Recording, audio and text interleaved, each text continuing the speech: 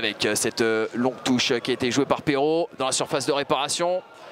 Ça va revenir. Bien prolongé de la tête. là, il est pied gauche, un petit extérieur, pied droit. Et ça va passer juste à côté.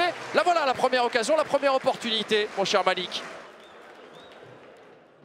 On va euh, bien sûr euh, regarder un petit peu ce qui se passe du côté du hashtag national FFF. Mais on va revenir tout de suite euh, au terrain parce que là, Mayoula est parti tout seul. Le petit ballon, ça va passer juste à côté du poteau. C'est presque venu le lécher, presque l'effleurer. Et regardez, il y a du mouvement. On est désormais dans le rond central. Oh, c'est pas bien compris là avec Sarr notamment et Rousselet avec de la réussite. Magula qui la récupère, Rousselet qui va le resservir dans cette surface de réparation. Il va se mettre pied gauche, c'est 33 La belle claquette du gardien boulonnais, Paul Rollet. Oh, il fallait avoir la main ferme sur ce coup, Malik.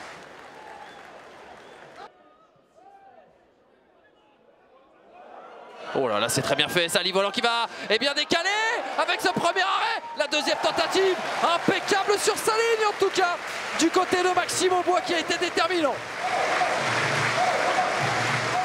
Et c'est la fin de cette période 0 à 0 entre le, Stade Lavallois Mayenne Football Club et l'US Boulogne Côte d'Opale.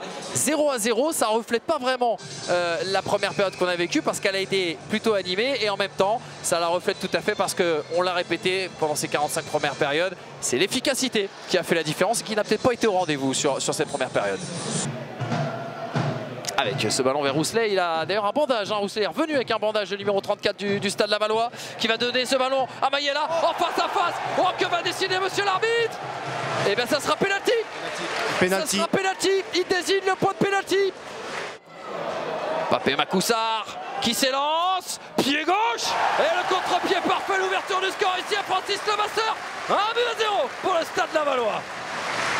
Ah, il a aucune chance. Aucune chance à son vis-à-vis, mon cher Malik. Oh attention, oh attention, il y a un coup à jouer. Parce que Youssoufou Niakata, ça peut aller.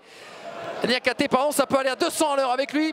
Il a transmis son ballon. Il va être aussi à la retombée avec cette occasion. La frappe s'est passée entre les jambes du gardien. On s'est pas bien compris, ça va revenir dans les pieds.